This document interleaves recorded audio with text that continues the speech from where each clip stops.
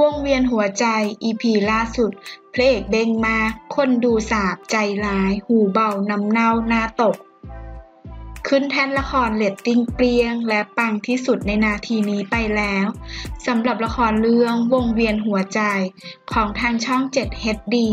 นำแสดงโดยพอสสลัน และนาวทิสานาถที่กวาดคำชมความสนุกดูเพลิน บวกกับเคมีที่เข้ากันของคู่พระนาง ยิ่งทำให้คนดูติดหนึบจนล่าสุดเรตติ้งทุบสถิติ พุ่งกระฉูดแตะเลข 6 ไปแล้ว อย่างไรก็ตาม เนื้อเรื่องในตอนล่าสุด ที่เพิ่งออกอากาศจบไปเมื่อคืนวันที่ 11 มีนาคมที่ผ่านมา กลับทำเอาแฟนละครชาวเน็ตไม่สบอารมณ์อย่างหนัก กับบทที่เริ่มเดินทางเข้าสู่ วังวนความน้ำเน่ายุ่งเหยิง เมื่อทศพระเอกที่ถูกชมมาตลอดว่าฉลาดเกินมาตรฐาน พระเอกละครไทย เริ่มงี่เงาและโง่หูเบา ไปเชื่อตัวร้ายอย่างใบตอง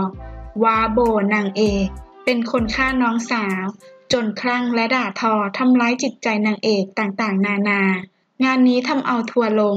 คอมเมนต์สาพระเอกมาเเต็มๆ จนทำเอาแฮชแท็กวงเวียนหัวใจ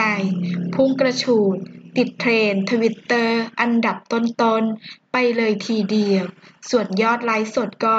ทะลุ1 0 0 0 0แสนวิวไปเรียบร้อยแล้ว เรียกว่ายิ่งด่ายิ่งปังอย่างแท้จริงเลย